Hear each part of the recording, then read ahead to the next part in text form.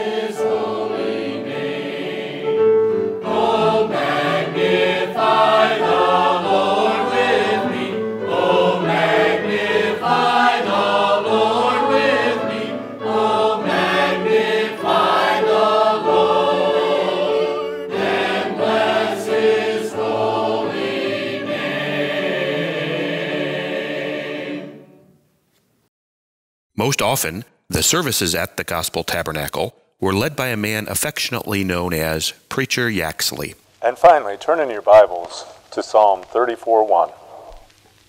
I will bless the Lord at all times. His praise shall continually be in my mouth. That means, my brothers, that God wants our mouths so busy praising Him that they will be too full of praise to mutter complaint.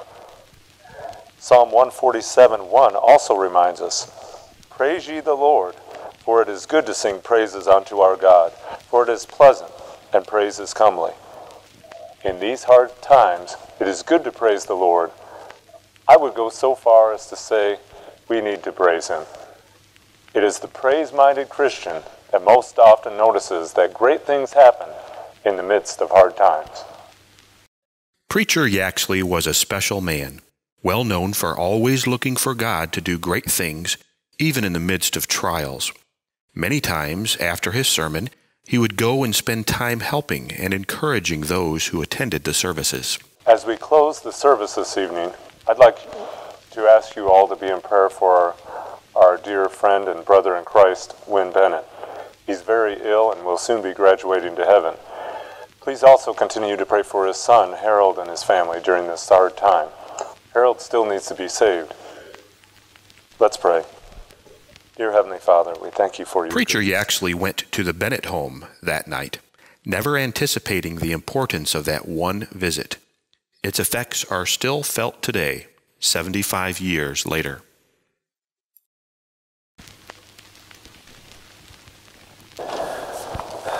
Why does that preacher have to come here anyway, Bessie? Well, now, Harold, you know how your father loved those people. I know, I know, but there's nothing that he can do for Dad. Why does he insist on coming? I'll get it. Hello, Preacher Yaxley. Hello, Don. Come on in. Dad's in the living room.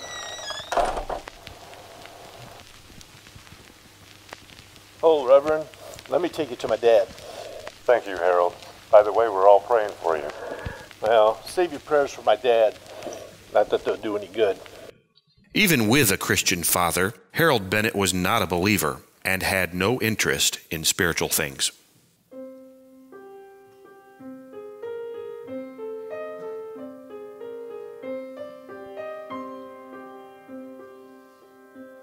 Have I a heart of stone, so cold and dark within, that I can view the Savior in anguish for my sin, and never sorrow feel? for all he sacrificed. Have I a heart of stone to watch the bleeding Christ? Have I no eyes to see that I can stand so near and watch the Savior wounded, but never shed a tear? Can I but coldly gaze upon his painful loss? Have I no eyes to see God's Lamb upon the cross?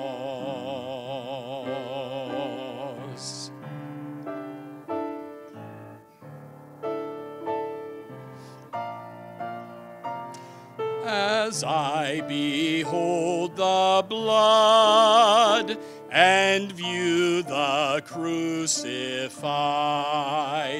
The piercing thought o'erwhelms me, 'twas for my sin he died.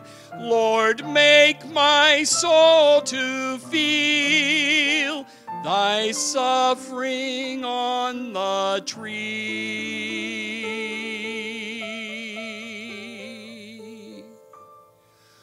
Lord, break this heart of stone.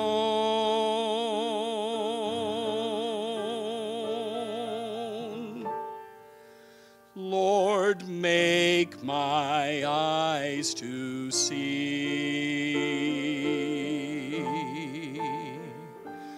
Lord, make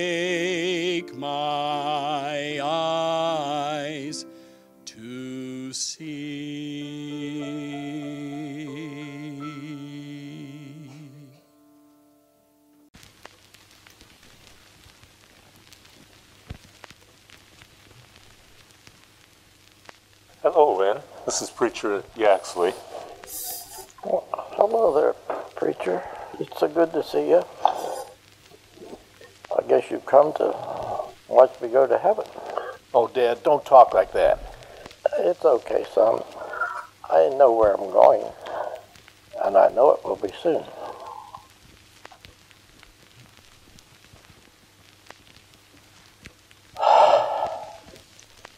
Let me read some scripture to you, Win. John 14 says, Let not your heart be troubled.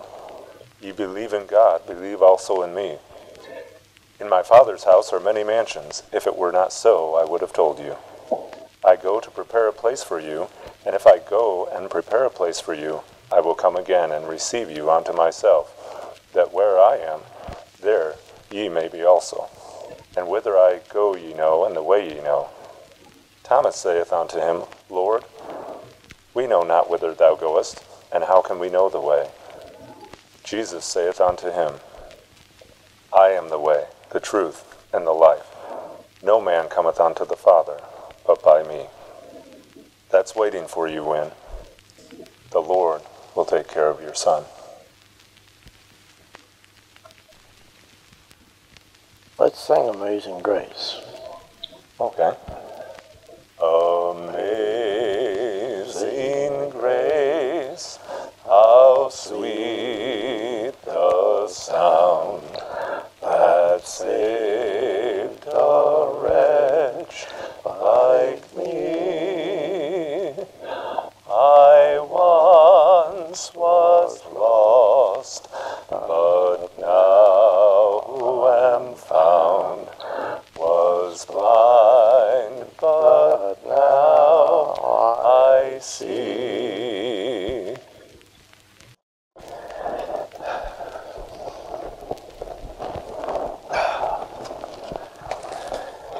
They're singing.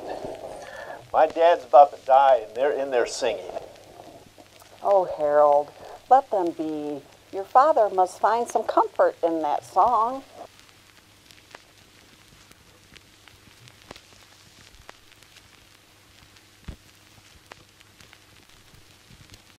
The two men continued to talk, sing hymns, and quote the Bible throughout the evening. Eventually, Harold and Bessie fell asleep as the evening turned to night and then to morning.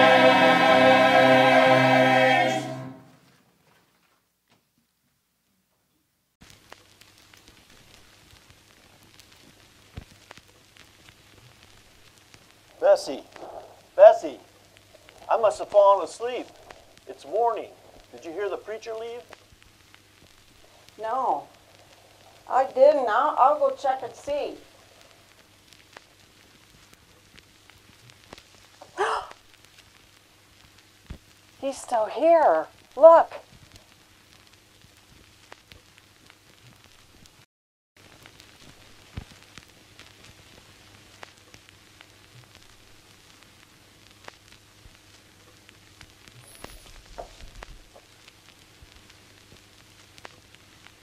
Oh, Dad. Dad, I feel so bad for you. Don't feel bad, Harold. Your dad's now in heaven with Jesus. The angels came and took him about an hour ago, That's what you believe. and that's what he believed. He wanted so badly for you to know Jesus as your Savior. All I know is that this is the worst day of my life. But this could be the greatest day of your life if you would just believe as your dad believed. You see, Jesus came one dark night just like this, and he lived a perfect life, and he died on the cross to pay for your sin. Why would Jesus care about me? Because he loves you. Here, look. The Bible says in John 3:16, "For God so loved the world that he gave his only begotten son, that whosoever believeth in him should not perish, but have everlasting life." Well, I'm not ready for any of that. But I, one thing I do know is that you loved my dad, didn't you? I mean, you were here all night. Yes, I did. Well, I'll tell you what. I'll come and hear you preach. I promise. Great, Harold. The love that Preacher Yaxley showed to the family that night made a lasting impression on Harold. He saw something that night he'd never seen before God's love.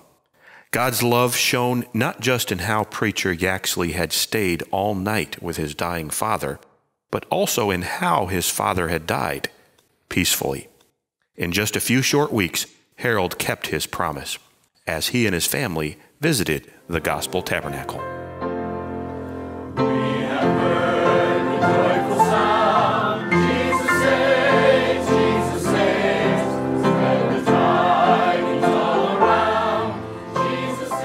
During this service the Bennetts attended, Preacher Yaxley preached on the subject that Harold had been thinking about almost constantly since his dad died the love of God. He'd heard it all before, but now it seemed different. Even the choir's special focused his attention on God's love.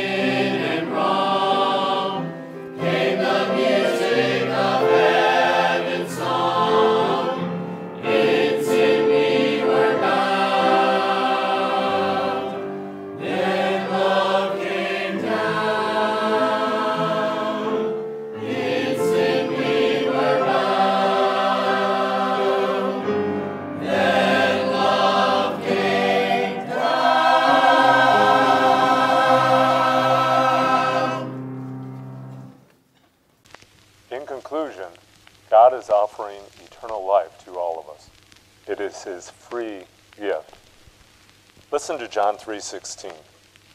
For God so loved the world that he gave his only begotten son that whosoever believeth in him should not perish but have everlasting life. Whosoever means you. If you've never accepted God's love gift as your own, I implore you, why don't you come now and receive it for yourself?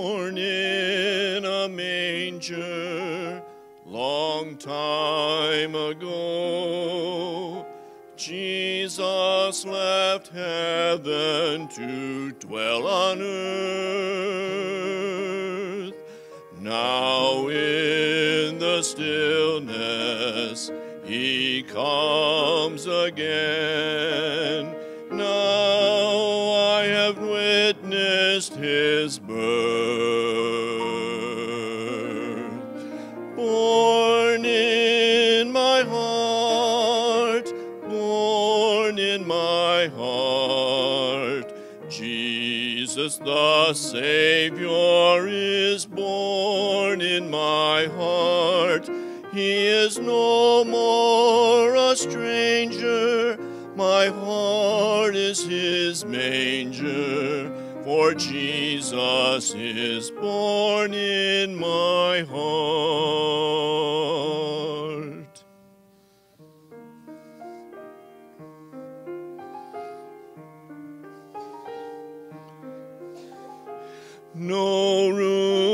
For Jesus, ruler of all.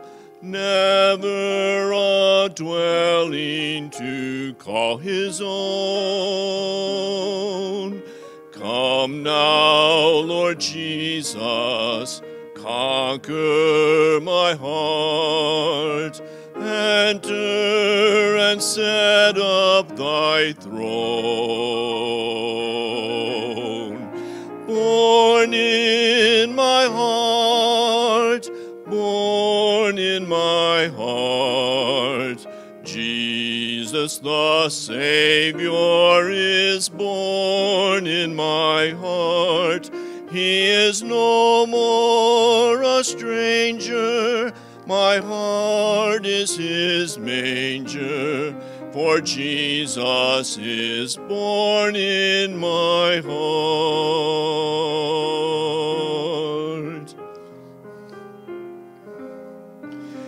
For Jesus is born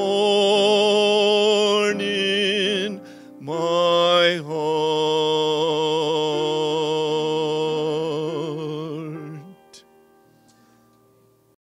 The weeks that followed Harold's salvation brought radical change and rapid spiritual growth in Harold's life. Bessie and their three children were also saved. Soon they attended all the services at Gospel Tabernacle and were excited about what God was doing in their lives. Though all seemed well in Adrian, all was not well in the rest of the world. In 1939, Germany, under the leadership of Adolf Hitler, invaded Poland to begin World War II. Later, on December 7, 1941, the Japanese brought the U.S. into the war with their sneak attack on Hawaii at Pearl Harbor. Late in 1942, a group of people, including Harold and his family, believed that it was God's will that they form an organized, officially established church in the area.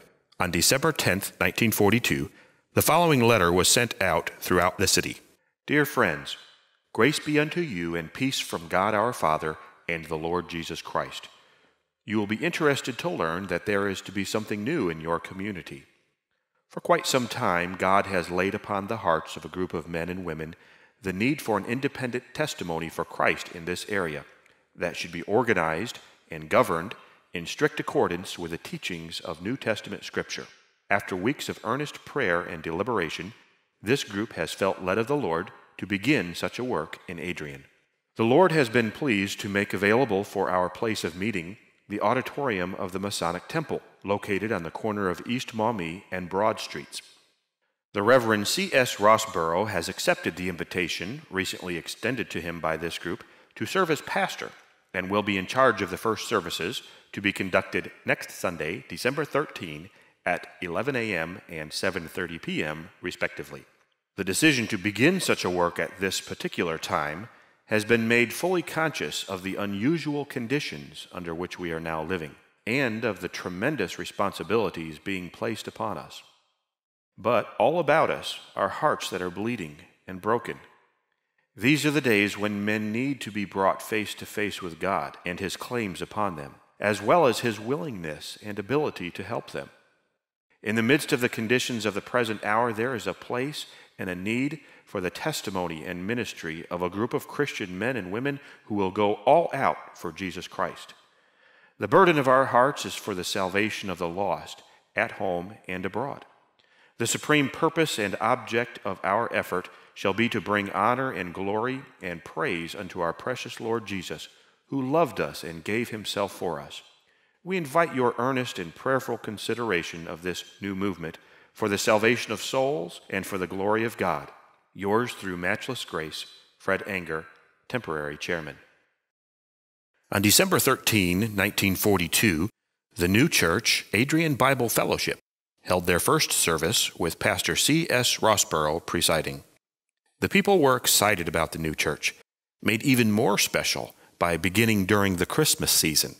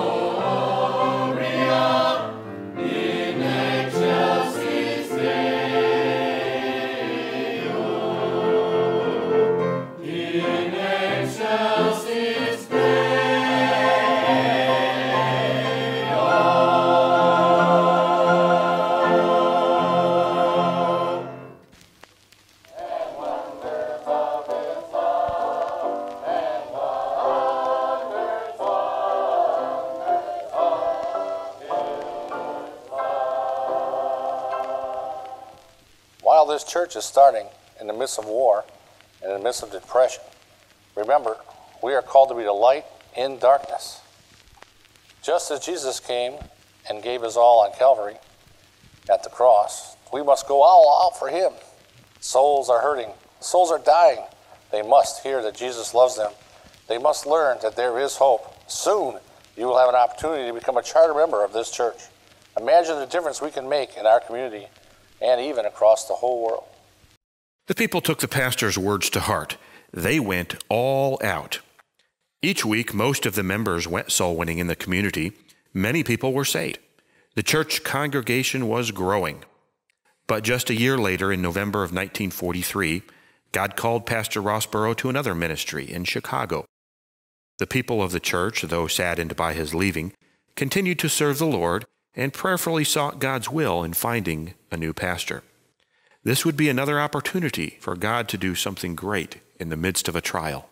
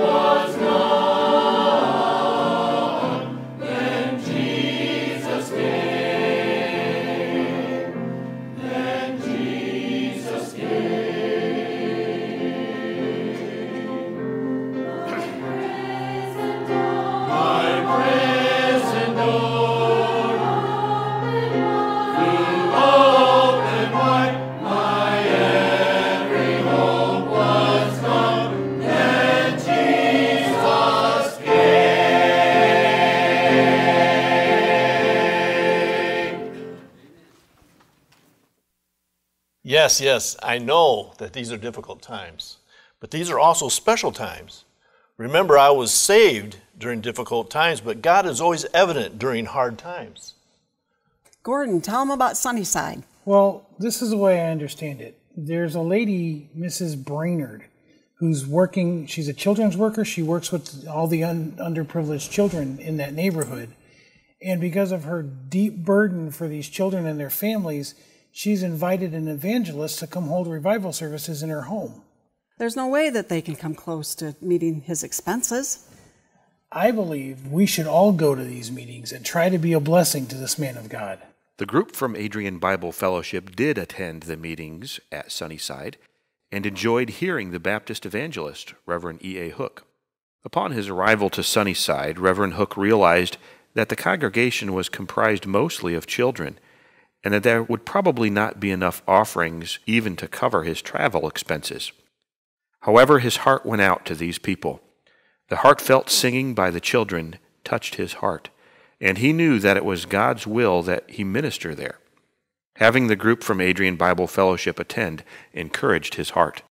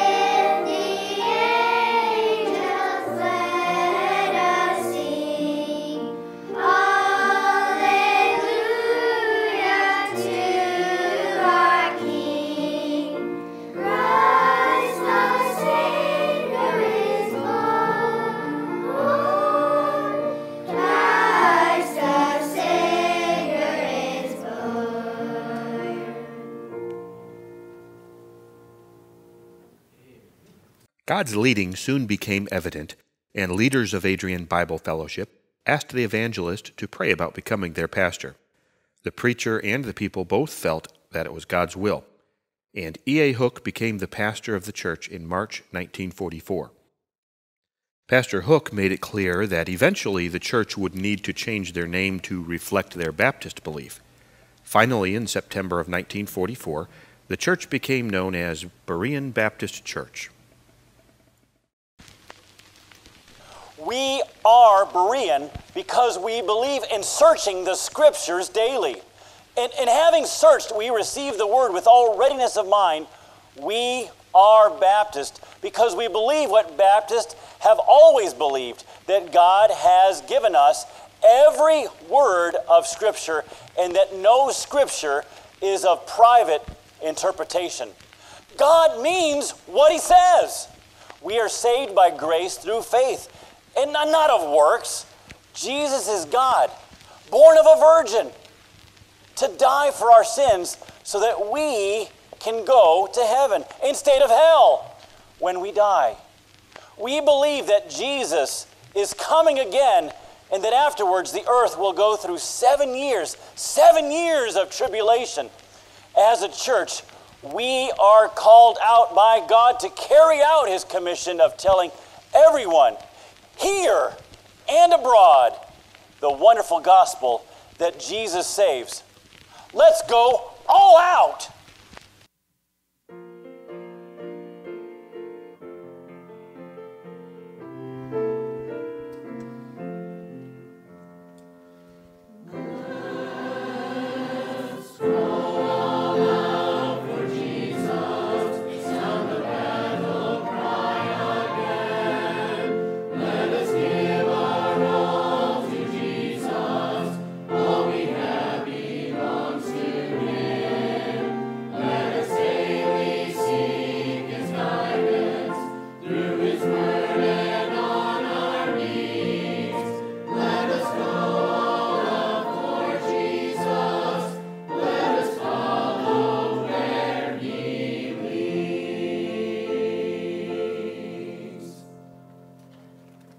Again, the people responded to the message from the man of God.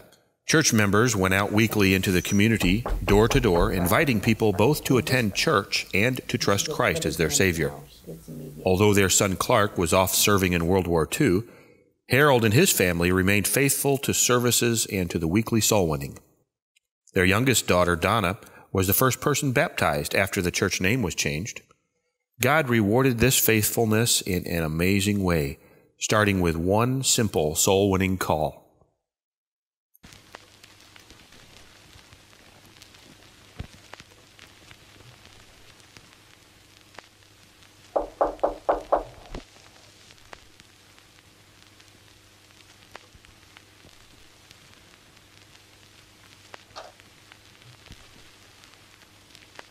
May I help you?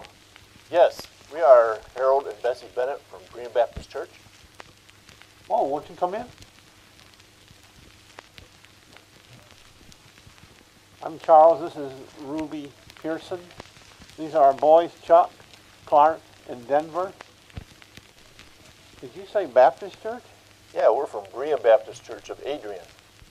We just moved here from Oklahoma, and we were looking for a Baptist church to attend. Well, that's great. Are you Christians? Ruby and I are. So what uh, brings you to our house tonight? Well, this is part of our soul winning ministry. Wow, that sounds like a church we'd like to attend. Are there any pretty girls there? Charles, quiet. The Pearsons visited Berean the very next Sunday and joined as members not long after. Chuck, their oldest son, soon realized his need for salvation and was saved. A deacon named B.J. Whitaker began to disciple him, and Chuck grew rapidly in the Lord. It wasn't long before Chuck spotted Donna Bennett. Because of the many teen activities, Chuck was able to actively pursue her, though Donna showed little interest most of the time. Dad, I'm glad you go soul winning. Yeah, it's good to obey God. And soul winning has brought us many blessings. Yes. Blessings. What's that supposed to mean? Well, do you remember several years ago when you knocked on the Pearson's door? Yes, I remember that. Um, does this have anything to do with Charles? Well, Dad, you know that he was saved and baptized, and he really loves the Lord. For several years now, he's been chasing me, and at first I wasn't at all interested, but he wouldn't give up. Now I'm very interested. In fact, I would like to marry him. Please pray for us that we do God's will. Well, make sure he comes to see me first. Chuck Pearson did indeed marry his sweetheart Donna, with Harold's blessing, of course. Together, following the example of their parents, they faithfully served in many different areas of ministry, including music, soul winning, and Chuck's discipleship of his boys in Boys Brigade. Today, Pearson descendants can be found serving across the country as Christian school and Sunday school teachers, soul winners, bus workers and drivers, nursery and children's workers, short term missionaries, musicians, and even a deacon and preacher or two. Clark Bennett safely returned from World War II and eventually married Lois, the daughter of another member. They too served the Lord faithfully at Berean in music and other areas, most notably in starting Berean's shepherd's class and bus ministry a program that currently averages 75 kids each week. But Berean's story still continues. Like the threads in a tapestry are interwoven, so are the stories of the many, many families that have entered our doors. Bessie Bennett brought Leona Jenkins, now Leona Elfrey, to Berean. Eventually, Leona's husband Bob was saved. He worked 30 years in the bus ministry from its beginning until his passing, bringing thousands of children to church. Even today, more than 25 years later, it is possible to find adults in town who remember riding Mr. Jenkins' bus. Their daughter Dee started Berean's ministry to the deaf in 1981. Today, both she and her husband Doug also are involved in our Shepherds and Senior Saints ministries. Leona Jenkins, in turn, was a huge encouragement to Kathy Morin when their family first moved here from Minnesota. Leona taught Kathy to win souls to the Lord, and the rest, as they say, is history. Dale Stewart and his sister Janet, now Gilbert, were saved at Vacation Bible School while Berean was still on the corner of Main and Beecher. Janet served faithfully in the Shepherds and Children's ministries for as long as she was able. Chuck Pearson led Dale to the Lord and discipled him over the years. Dale, along with his wife Carol, have since served in many ministries as well, including children's work, deaf ministry, soul winning, and even missions work, with the inception of Fundamental Baptist Missions for Laymen, a program that inspired a number of our own church people to serve as both short and long term missionaries, Tom and Margot Denias being one example. Dale and Debbie Bowman came to Berean as a result of a soul winning call, having been led to the Lord by Dale Stewart. They became faithful members, and Dale eventually became a deacon, creating a unique three generation dynamic with Chuck Pearson, Dale Stewart, and Dale Bowman all serving as deacons simultaneously until Chuck's graduation to heaven in 2015. Today, the Bowmans also serve in nursery and head up the Reformers Unanimous program, Bill Cook was saved after he was invited to a youth activity by a shy but sweet Christian young lady named Nancy. He was also fostered by a faithful church member, Mrs. Ailing. His experience with Berean and also Mrs. Ailing's love and faithfulness was profound enough that after years away, Bill relocated his family back to Michigan from Pittsburgh, where he became the treasurer and worked in many ministries, including the Fair Ministry, the Shepherd's Ministry, Boys Brigade, and others. Today, Bill and Nancy Cook's children and grandchildren are found serving the Lord both here at Berean as well as in churches across the nation and on the mission field. Four of his children and two of his grandchildren have been on staff full time at Berean, combining for a total of over 70 years in service to our Lord here at Berean. And so the story continues one person touching the life of another person, who in turn touches another. Thus, ministries were started, buildings were built, and the work continued. Berean Baptist Church has an amazing 75 year heritage. So much more could be said, but the theme remains the same faithful people who wholeheartedly serve all out and have touched thousands of lives over the years. Whose life will be next?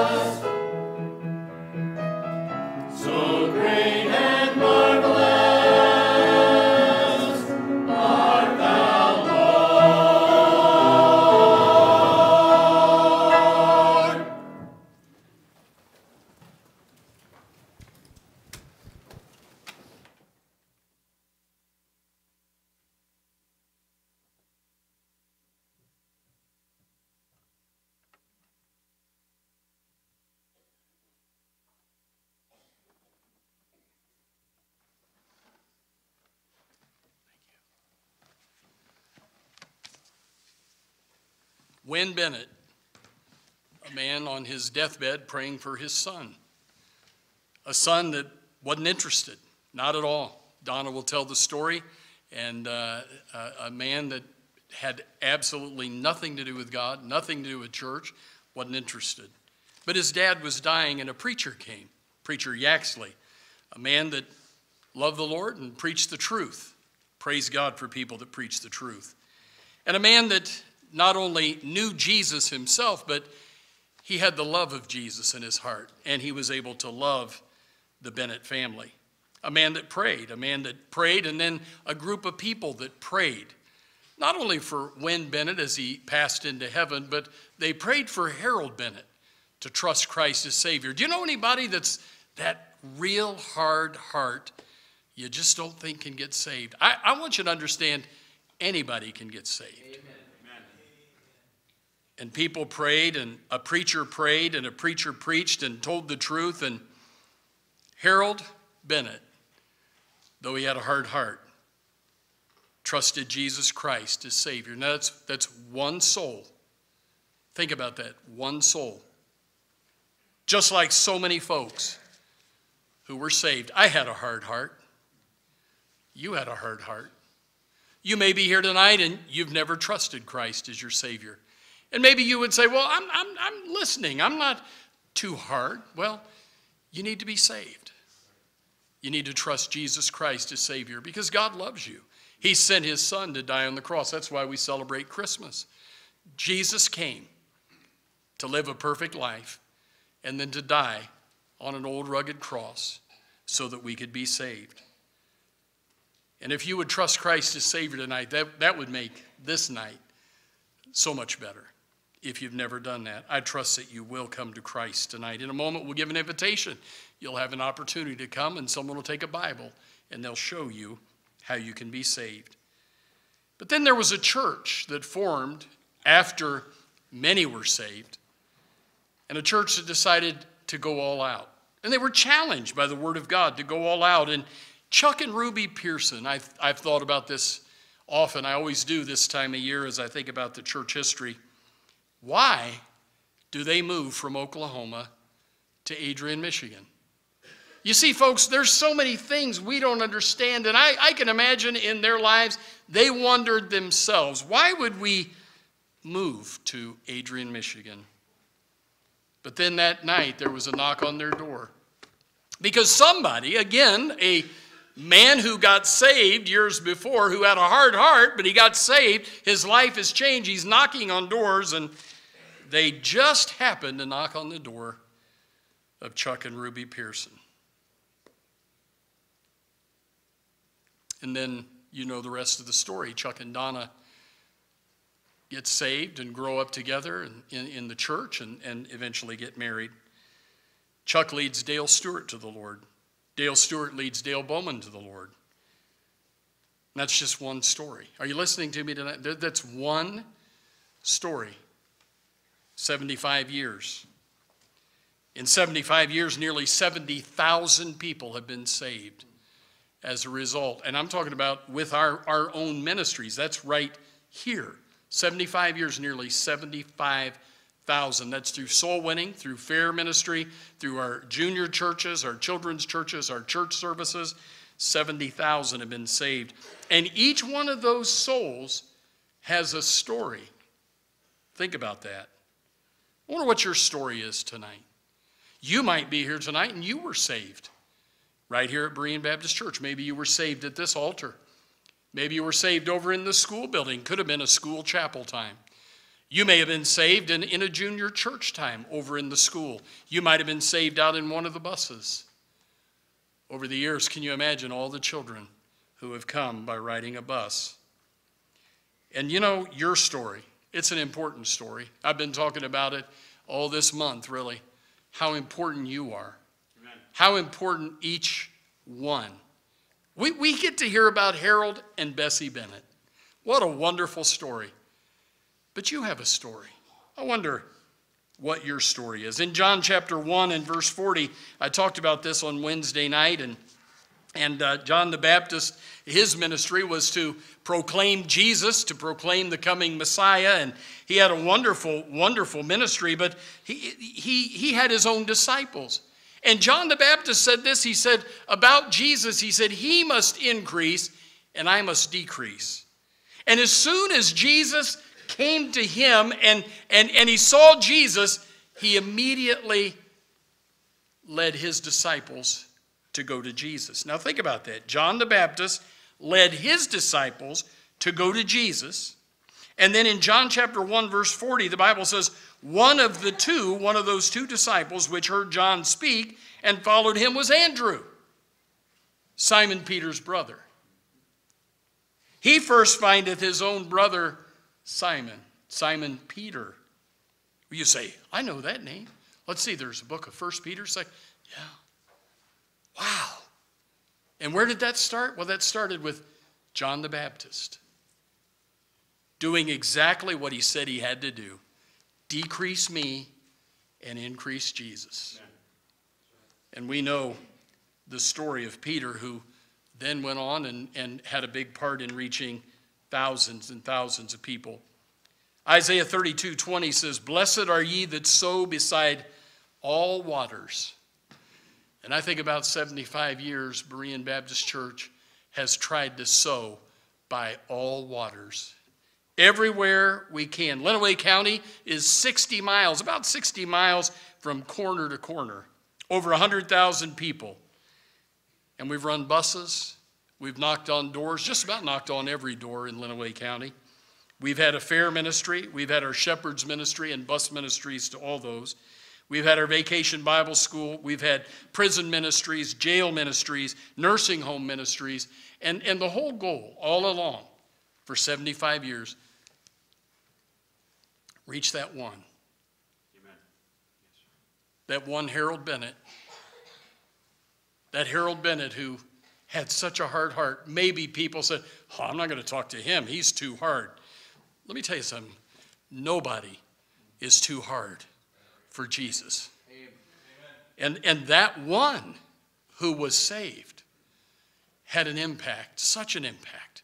And perhaps if he doesn't get saved, we're not here today. I wonder how many one mores there are out there. I say to Berean Baptist Church, let's keep going all out.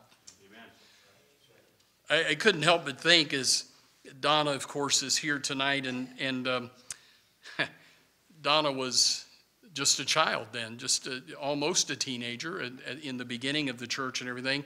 And I was, I was looking at these young people, maybe, um, maybe Holly, that might have been Donna's age then. And Holly, I wonder, I wonder 75 years ago.